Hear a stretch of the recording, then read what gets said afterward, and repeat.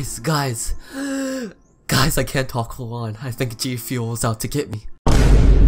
But the people must know, Keemstar, the lovable 40 year old himself, is not real. He is a puppet controlled by G Fuel to sell more G Fuel. You can see in the way he looks at you that he is not real. He's actually a spectral being, meaning a ghost that is controlled by G Fuel. To survive, he must feast on as much popcorn as possible or he will die. Keemstar doesn't have normal reactions like you or me.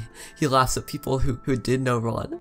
How could he do that? Alright guys, the G Fuel gods have to go to the bathroom sometimes, right? That's what I like to call the interview episodes, and when they do, Keemstar goes on autopilot a soulless vessel, if you will. This is where you can see the true Keemstar, the dead body he is, as he just stares into the camera, into your soul. I feel like he's trying to steal my soul right now for his own. But how did this happen, you ask? Well, here's my theory. Keemstar did not start out this way. He actually died and went to the underworld for his awful deeds. Then he begged with the devil to bring him back to earth at all costs, so the devil did, but with no soul and controlled by one of the devil's Shadow Realm cults. Yes, that's right, G Fuel. G Fuel puppets Keemstar and Drama Alert is just a trap created by G Fuel to sell more G Fuel. All I can hear from Keemstar is white noise, and the G Fuel from the corner of the screen saying, Eat me, eat me Santi.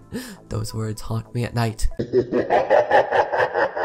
Keemstar has no life, no kids like he says, he just lives in the Drama Alert studio. When the lights go off, he does too. Another reason that explains this theory is his almost godlike speed. Scientists say that 1% of 40 year olds are as fast as Keemstar. This is because of the G Fuel gods giving him this speed, and I can only guess what other powers Keemstar has. This is getting out of hand. We need to take down G Fuel and release Keemstar from his mortal torment that he must be going through, and send him back to the underworld where he belongs. Otherwise, G Fuel will take over the world and we will all be soulless like Keemstar, a body drifting without a purpose, doomed to eat as much popcorn as possible. Scientists also say that Keemstar can consume up to 50 times his body weight in popcorn a day. So how do we stop this, you now ask? Well, here's what I think we need to do. We need to send as much popcorn as possible to the G Fuel gods with a letter saying, we know.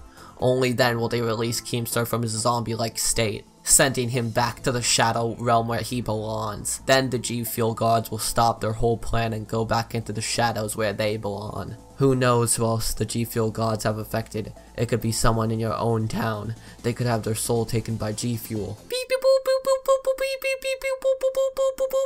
I send out an urgent service announcement. G Fuel is taking over more and more of our minds, and if we don't stop them now, they'll take over the world. We must rise up when the G Fuel zombie apocalypse hits. We must blow up all the popcorn factories. With that, the G Fuel zombies will run out of popcorn and die. Scientists say that by the end of 2019, half the population will be G Fuel zombies like Keemstar.